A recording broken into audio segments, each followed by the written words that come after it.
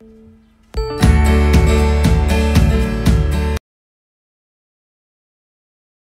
everyone. Our school has organized a virtual science exhibition due to a heavy rise in Omicron cases in our country as well as world. So today I Garima of class 6 rows 1 is going to tell you about what is a physical change and a chemical change and how can we distinguish between them with our simple experiments. For this one should require a burning candle and a paper. Firstly, I will tell you what is a physical change and a chemical change. Physical change, in which no new substance is formed, is called a physical change. Chemical change, in which new substance is formed, is called a chemical change. Physical change is a temporary change and chemical change is a permanent change. Physical change is a reversible change and chemical change is an irreversible change. Let's get started with our first experiment that is tearing of paper. Justify whether it is a physical change or a chemical change. No new substance is formed and by pasting it we can get the same paper again. So it is a physical change. But in the case of burning of paper, it is something different. Let's see. See this ash carefully. It is a new substance that is the paper burnt out changes into ash. So this is a chemical change and it cannot be reversed back into its original form. So it is a physical change and burning of paper is a chemical change. I will make things more clear with this second experiment that is burning of a candle. Look at this wax that has melted due to heat.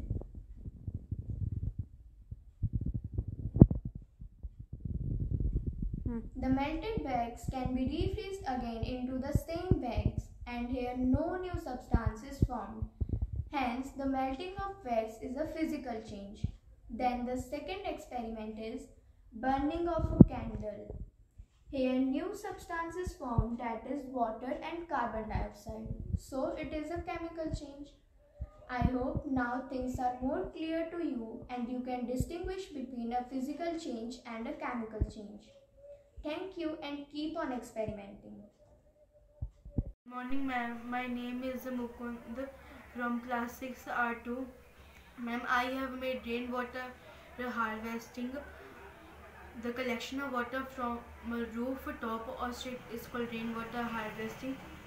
First, the rain comes and collect in the collection tank. Then it goes into the filter tank, so it could be filtered, and then it goes in the well. So in the well, there is a purest form of water. Thank you, ma'am.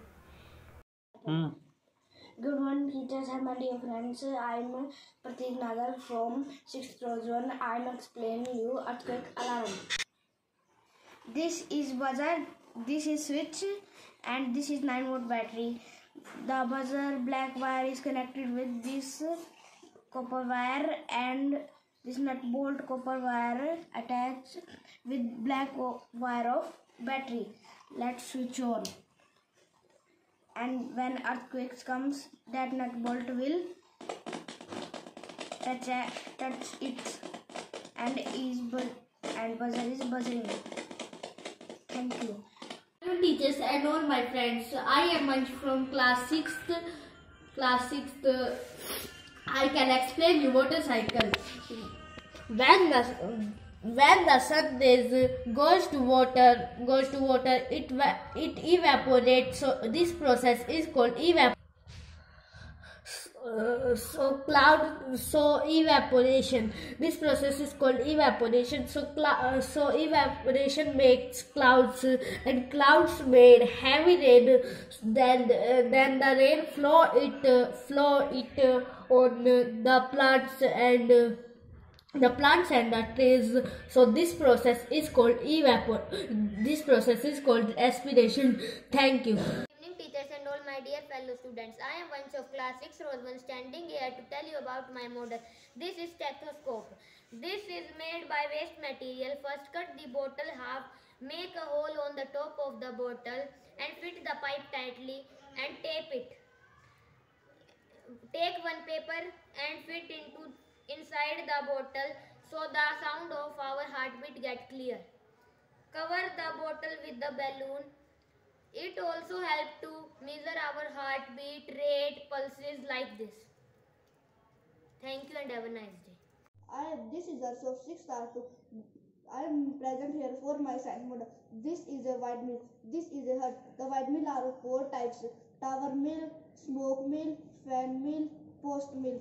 Do you know what is windmill? A, wine is a structure used for harness used for harness the power of wind by by purpose of, by purpose of Greeding grains, pumping water, and generating electricity. Do you know what is name of first discover? Do you know what is first name of first discover of white meat? The name of first discover white meat is Wumbo Kanak William Kamkwamba. The, do you know what is height of white meat? The height of white meat was 246.5 meter. Thank you. Good evening everyone. I am Kashish from 6 star 2. Today I am presenting water cycle project.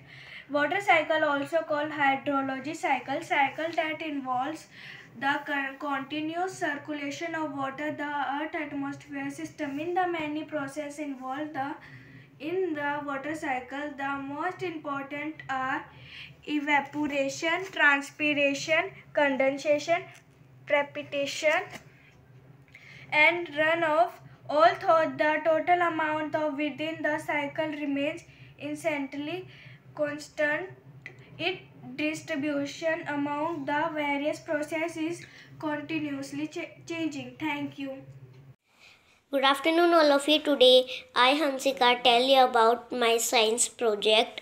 I want to show it my torch.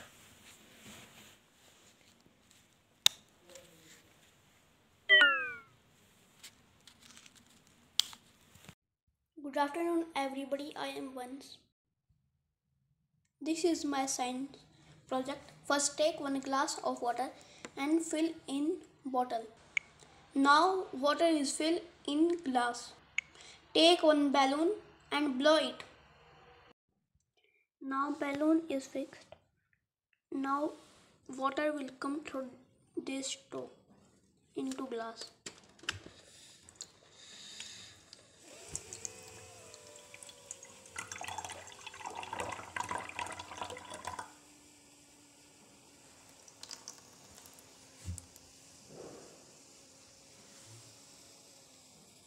Good morning, all of you. Today, myself, Vanshika Sharma of Triveni Memorial Senior Secondary School, studying in class 6th rows 1, to tell you about rainwater harvesting. Let's talk about how it works. First of all, the rainwater collects into the collection tank and transfers into the filtration tank which removes impurities which removes impurities and some soil dust particles and some soil dust particles and transfers into the well which is which is safe for household works like cleaning utensils washing clothes bathing etc hope you like this video.